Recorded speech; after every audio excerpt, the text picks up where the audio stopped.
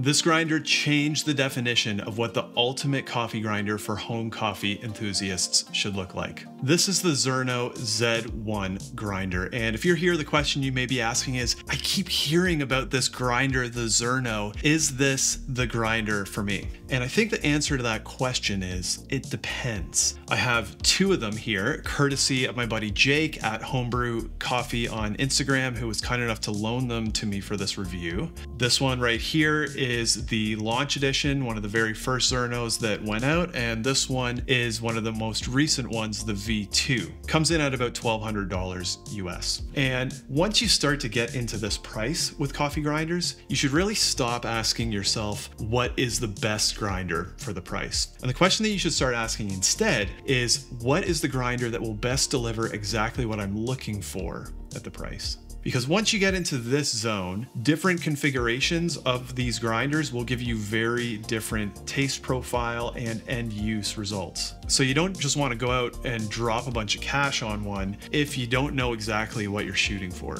I'll also say grinders at this price point are really getting into the territory of diminishing returns. You know, there are way cheaper grinders that you can get that will get you kind of 80% of the way there at a much lower price point. Now, the thing that the Zerno did really well and really differently as a higher end grinder was embrace this choose your own adventure style of grinder configuration in a whole cloth sort of way. Previous to grinders like this, you would see higher end grinders that use proprietary burr shapes and sizes, locked you into a very specific taste profile that was associated with a certain grinder. And what the Zerno Z1 did is it said, hey, there are a lot of really great burr sets out there in this 64 millimeter size. Let's let people choose what they want and let's give those burrs the best possible operating environment that we can. Now they married up that choose your own adventure philosophy with a very small footprint, a lot of different exterior finishes, and as far as grinders go,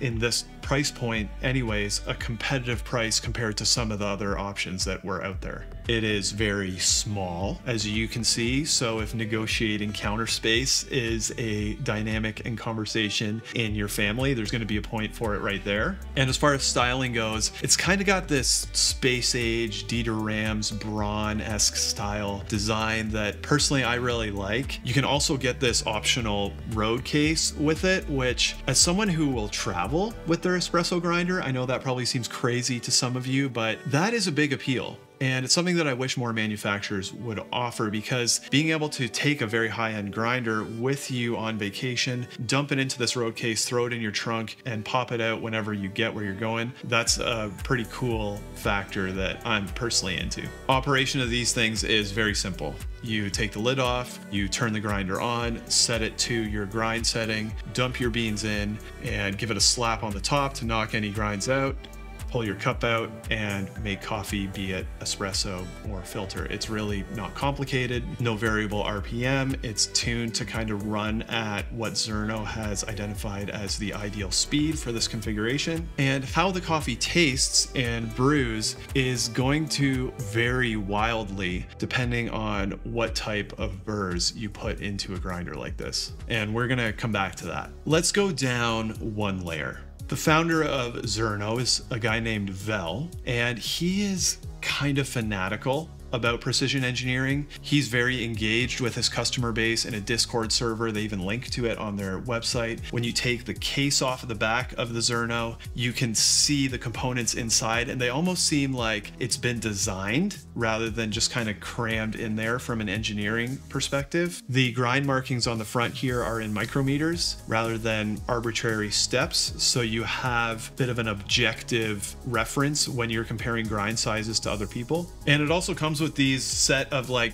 precision tools for you to take apart, clean, service your Zerno. So you really get the sense that this is like engineered with a very high degree of precision. And this is a trend that's going to continue, we're going to see here. And that's where I'm going to move out of the this is generally how it looks and works. And I'm really going to start speaking to the enthusiasts here. Now, I review a lot of grinders. I don't think that's going to be a secret to any of you. And one of the things that I always do when I get a new grinder is I test the alignment. Now, if you don't know what that means, these grinders use what's called flat burrs to grind up the coffee. They're these two discs that one of them will kind of rotate. And you want those discs to be in as close alignment as possible. Because if one is not, it's going to wobble a little bit as it's spinning around. And what that is going to do is coffee that's coming out of the big gap side is going to be larger than the coffee that's coming out of the little gap side. And you really want the grind to be as consistent as possible for the best cup. So when you're checking alignment, you know, this is something that a couple micrometers can make a big difference. So you always want to get the alignment as close as possible. This grinder right here has been the best aligned grinder that I've ever received or tested. When I got it, I seasoned it, ran a couple kilos of coffee through it just to kind of get it settled. Then I performed an alignment test and it was perfectly aligned. And that's something that I see very, very, very rarely, especially that clean. Another way that you can check alignment on a grinder like this is you can compare what's called the chirp point to the burr lock point. The chirp point is when you're tightening the grinder and you hear those burrs just start to touch. And the lock point you turn the grinder off and you keep turning the dial until it stops moving. That's burr lock. And in the case of this grinder, the distance between burr chirp and burr lock was in between 5 and 10 micrometers. That is absolutely crazy. I have never seen that tight of a tolerance on a grinder, especially out of the box. And this one, one of the very original ones, you know, this one has seen a good bit of use. This one is only 10 to 15 micrometers in between burr chirp and burr lock. To have that degree of precision across two different units, two different manufacturing cycles, one of them received just out of the box, that's pretty wild. And if you're an enthusiast, not having to worry about alignment, just having it be really great out of the box is really nice. Now, a couple other tests that I'll always run when I get a new grinder. One of them is for sound. So you always want to see how loud is a grinder. And the Zerno is not a terribly loud grinder, so I was very happy with that. Another test that I'll always do is to test something called retention. And that's how much coffee tends to hang out inside of a grinder after you finish grinding. Now, after that big seasoning run that I did, I cleaned it out, measured all the grounds that were in there. There was 0.7 grams. 0.2 grams of that was actually in behind the rotating burrs and most of the other grounds that were in there, just the way they were sitting in there, I wouldn't really expect them to make their way out into your coffee on a regular basis. One other thing that I do, and this is a little intense, is I usually grind up green coffee, unroasted coffee, and you would never normally do that with a coffee grinder. It's a bit ridiculous, but I do it as a stress test. And in this case, the Zerno chewed right through it. So, you know, the drivetrain is obviously very robust, lots of power and torque in the motor, so that was fantastic. So, I think it's about time we made some espresso. Okay, so that pulled great, and that was grinding about 115 micrometers from burr chirp. Mm. And the espresso is, mm, that's quite good. But before we get too much into taste profile, which is great, and performance in the cup, I want to show you the secret sauce of the Zerno. In addition to that laser precise alignment that it has going on. It's also got a little something else going on in here. A couple other grinders use these as well. Just gonna get it opened up. This front comes right off, just like that. The burr comes out just like that.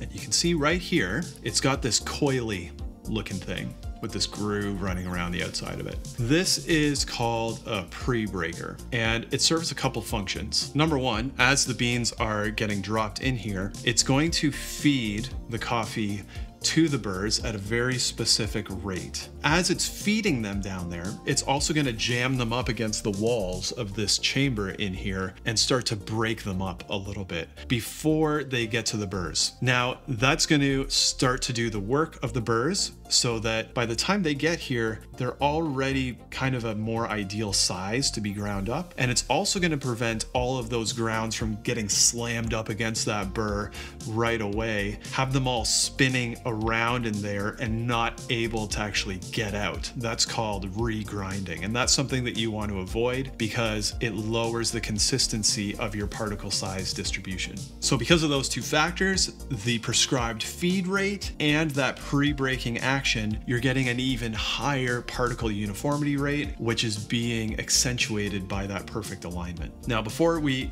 get to these burrs, I do want to talk very briefly about some of the changes and updates that have been made between this one and this one. This one the launch edition Zerno has this white cable that's permanently attached. It's actually an Apple computer cable. It's pretty nice. This one has a removable cable, which I really like this anytime somebody includes this because if you want to get a different color, you want to get a different outlet kind, a different uh, length, you can do that for yourself. A couple other very small things. We have some somewhat minimal changes between the dosing cups. A little bit more of a significant change is this one is magnetic, where this one is not. Both of them have this magnetic exit chute. This one has a 3D printed insert with a smaller opening and this kind of new material and shape inside. All that is serving to minimize the static and the retention. It makes RDT less of a requirement.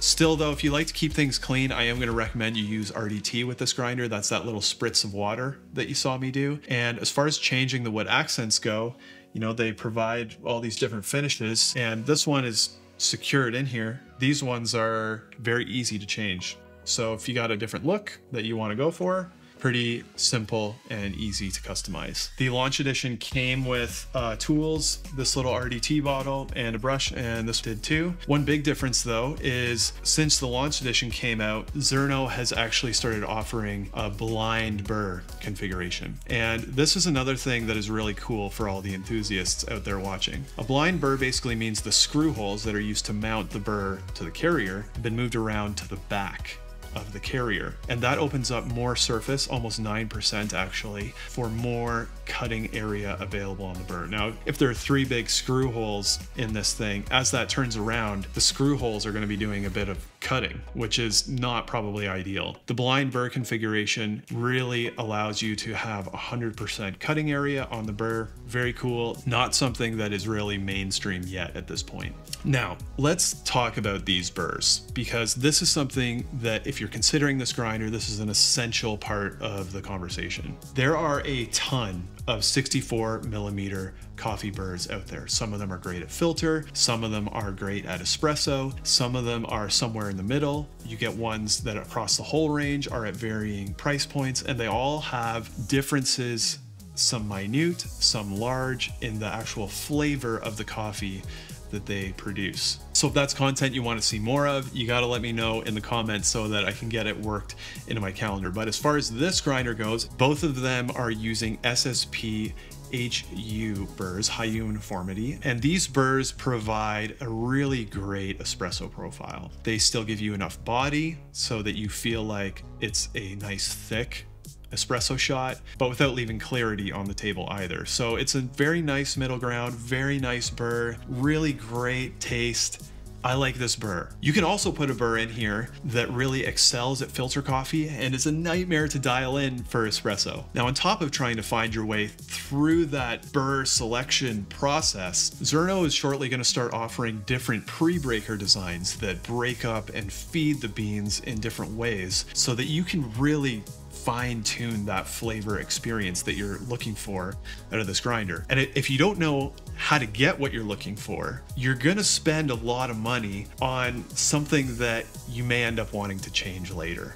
Now, on top of just the money, because these are all hand built in the US, you got to place an order one. They're almost basically making them to order at this point. You have to join a wait list and you're going to be waiting a while before you actually get your grinder. As of recording this video, there's only like 500 Zernos in the wild. I have two of them sitting right here in front of me. I kind of liken it to getting a guitar custom built for you. If you're just learning how to play guitar, you're probably not going to go to a guitar maker and say, hey, make me a custom guitar. You're going to go to a music store, you're going to get something in your price range, and that is probably going to get you 80% of the way there. Then once you really know what you're looking for in an instrument, then you go to the guitar maker and you're able to make some informed decisions. So if you're in the first category, and you're still trying to figure out what it is that you want, I really am going to encourage you to wait a little bit. Learn a little bit more, taste a lot. Don't jump into a gear upgrade. Maximize what you have already. If you do know exactly what you want,